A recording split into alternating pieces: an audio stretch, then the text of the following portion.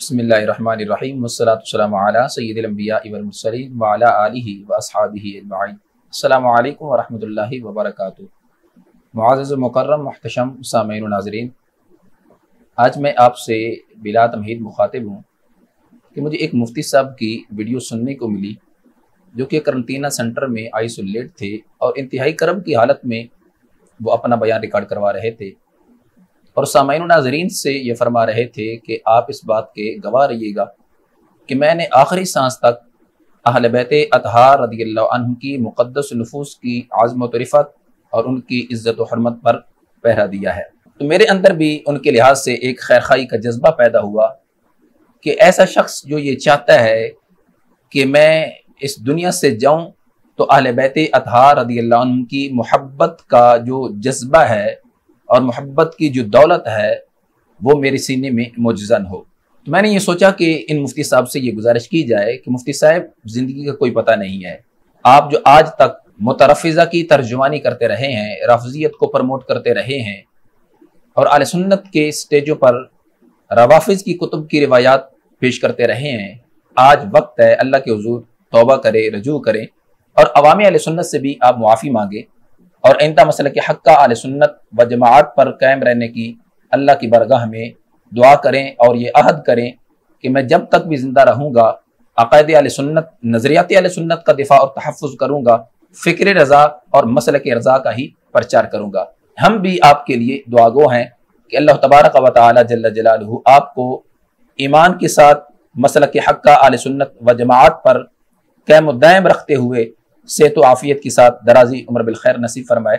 تو ناظرین کرام، ان مفتی صاحب کی جو موجودہ حالت ہے، یہ ایک مترفزہ کے ترجمہ کی حیثیت سے ہے کہ اپنے خطابات میں، اپنے بیانات میں روافظ کتب میں سے روایات پیش کرنا اور رفضیت کو ہی پرموٹ کرنا، یہ آج تک ان کا یہ ایک وطیرہ رہا ہے۔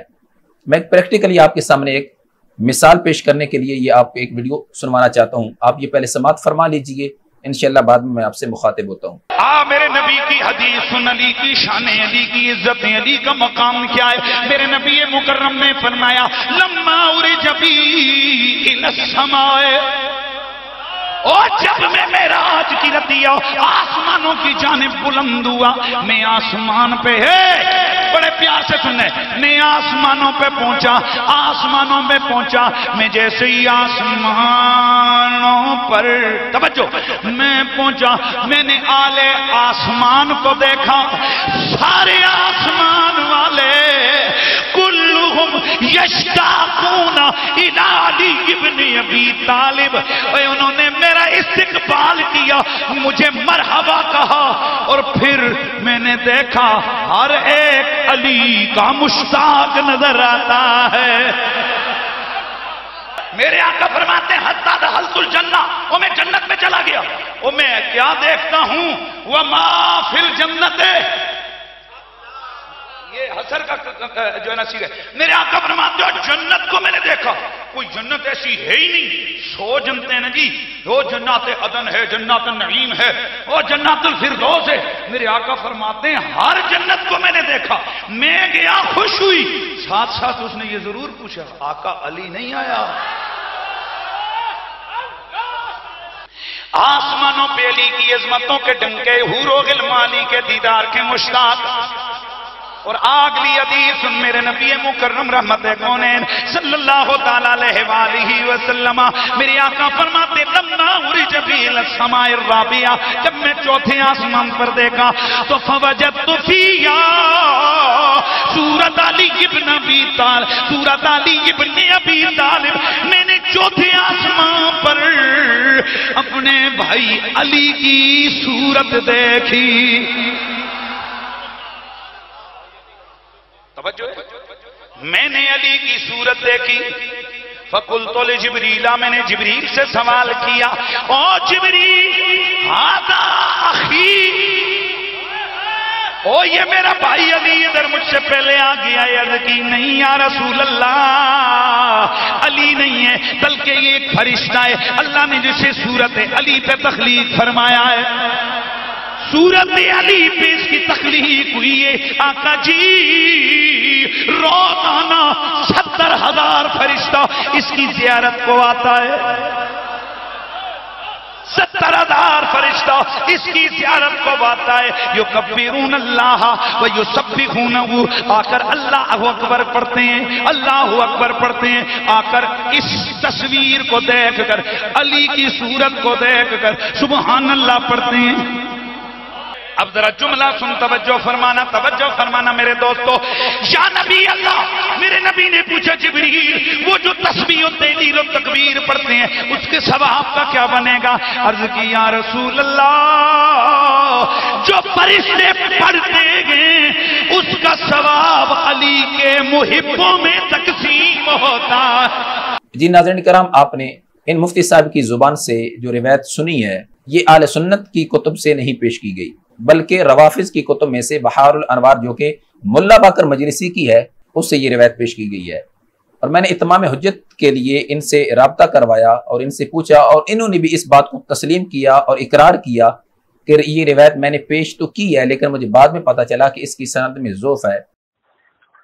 جی، السلام علیکم ورحمۃ اللہ وبرکاتہ۔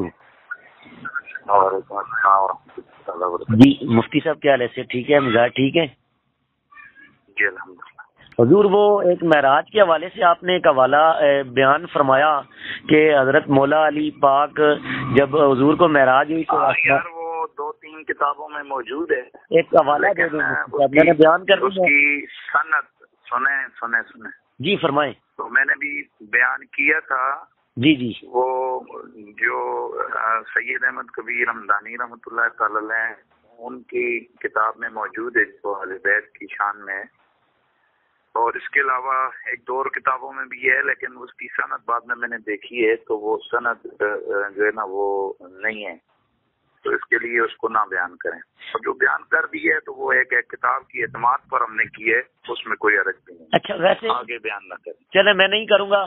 میں سوچ رہا تھا کروں لیکن برحال آپ نے منع فرما دیا میں نہیں کروں گا۔ تو ذہن کے لیے آپ اس کتاب کا حوالہ نام بتا دیں اگر کیا ہوگا۔ بتا دیے آپ کو جو شان بیت میں احمد کبیر رمضانی کی کتاب ہے شان بیت۔ تو جناب مفتی صاحب اگر اس کی صنعت میں ذوف بھی ہوتا تو ہم اس کو تسلیم کر لیتے کیونکہ یہ فضائل میں بیان کی جا رہی تھی اور حدیث ضعیف تو فضائل میں قابل عمل ہوتی ہے۔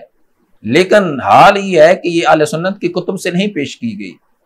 یہ روافظ کی کتب سے حوالہ پیش کیا گیا ہے۔ اب جو انہوں نے عبارت پڑھی ہے اور اس کا جو ترجمہ کیا ہے، اگرچہ گرامر کے لحاظ سے اور ترجمہ کرنے کے لحاظ سے کئی ایسی چیزیں جو کہ قابل گرفت ہیں، لیکن میں اختصار کے ساتھ جو اس کی اصل روایت ہے اور اصل عبارت ہے بہار الانوار، وہ آپ کے سامنے میں پیش کرنا چاہتا ہوں۔ ایک نسخہ کے مطابق سترویں جلد ہے اور دوسرا نسخہ کے مطابق اٹھارہویں جلد ہے۔ ان دونوں میں یہ روایت موجود ہے۔ یہ سترویں جلد میں صفحہ نمبر تین سو ہے اور اٹھارہویں جلد میں صفحہ نمبر چار سو سات ہے۔ یہ دارالقتب اسلامیہ تہران بازار سلطانی، وہیں سے یہ شائع ہوئی ہے۔ اور اس کے اندر یہ ملا باطر مجلسی نے جو یہ روایت نقل کی ہے، لما اسری بی الى السماء ما مررت بملئ من الملائکۃ اللہ سالونی عن علی ابن ابی طالب، کہ سرکار دو عالم نور مجسم شفیع معظم صلی اللہ علیہ وسلم فرماتے ہیں کہ مجھے جب آسمانوں کی طرف سیر کروائی گئی تو میرا آسمانوں میں جس فرشتے کے پاس سے گزر ہوا، تو کوئی ایک بھی ایسا فرشتہ نہیں تھا کہ جس نے مجھ سے حضرت علی المرتضی، شیر خدا رضی اللہ تعالیٰ عنہ کے بارے میں سوال نہ کیا ہو۔ حتی ظننتو ان اسم علی فی السماء اشہر من اسمی۔ سرکار دو عالم صلی اللہ علیہ وسلم فرماتے ہیں کہ میں نے گمان کیا کہ حضرت علی المرتضی، شیر خدا رضی اللہ تعالیٰ عنہ کا جو نام مبارک ہے، وہ آسمانوں میں میرے نام سے زیادہ مشہور ہے۔ فلما بلغت السماء الرابعہ، نظرت الى ملک الموت۔ جب میں چوتھے آسمان پہ پہنچا، تو میں نے ملک الموت کی طرف دیکھا۔ فقال علی یا محمد صلی اللہ علیہ وسلم، ملک الموت نے مجھ سے عرض کی، یا رسول اللہ صلی اللہ علیہ وسلم، ما خلق اللہ خلقا الا اقبض روحه بیدی۔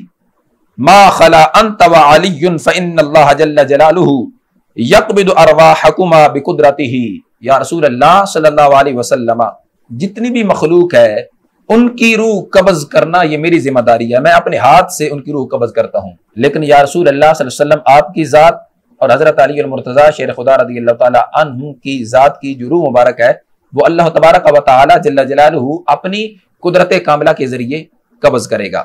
فلما صرت تحت العرش نظرت فاذا انا بعلی بن ابی طالب واقفا تحت عرش ربی۔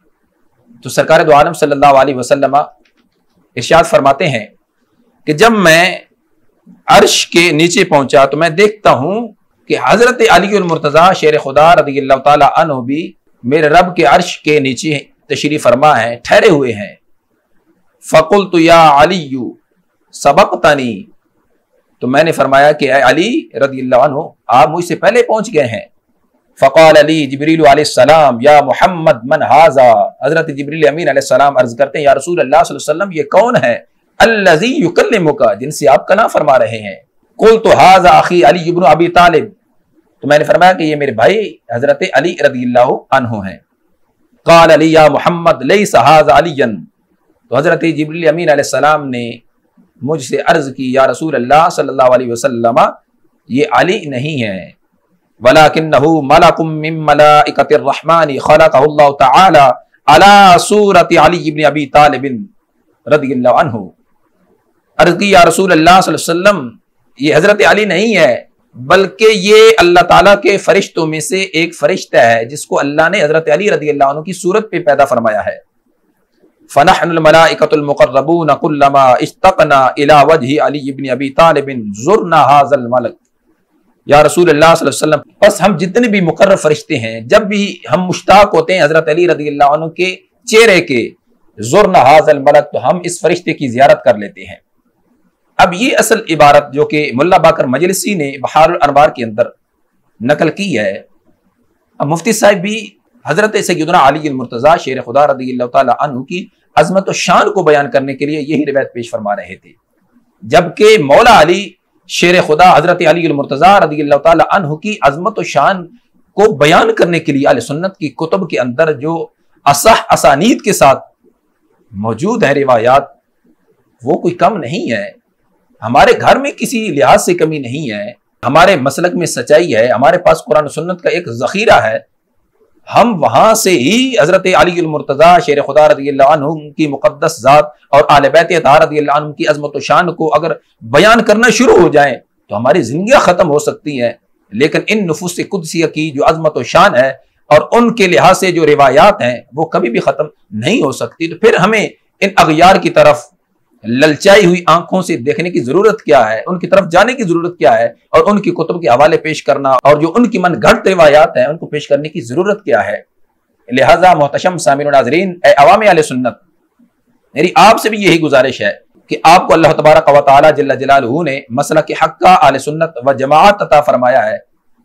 تو لہٰذا تمہیں کسی غیر کی طرف دیکھنے کی ضرورت نہیں ہے۔ اور پھر میں آخر میں یہ مفتی صاحب سے یہ گزارش کروں گا کہ مفتی صاحب، زندگی کا کوئی پتہ نہیں ہے۔ آج تک جو آپ نے روایات روافظ کی کتب سے پیش کی ہیں اور روافظ کو پرموٹ کیا ہے اور آل سنت کے ذہنوں میں روافظ کے لحاظ سے جو ایک نرم گوشہ پیدا کیا ہے، یہ کہہ کر کے وہ بھی آل بیت رضی اللہ عنہ سے محبت کرتے ہیں۔ جبکہ اس کے ساتھ ساتھ جو ان مقدس ہستیوں سیاب کرام، عالم ردوان پر وہ تبرہ بازی کرتے ہیں، لہذا آپ کو اللہ کے حضور یہ معافی مانگنی ہوگی، اللہ کے حضور گڑ گڑانا ہوگا اور عوامی علیہ سنت سے بھی معافی مانگنی ہوگی۔ اللہ تبارک و تعالی جل جلالہ ہمیں مسئلہ کے حق کا آل سنت و جماعت پر استقامت نصیب فرمائے اور اسی کا دفاع، اسی کا پرچار اور اسی کا تحفظ کرنے کی توفیق رفیق نصیب فرمائے۔ والسلام علیکم ورحمۃ اللہ وبرکاتہ۔ وما توفیق اللہ باللہ۔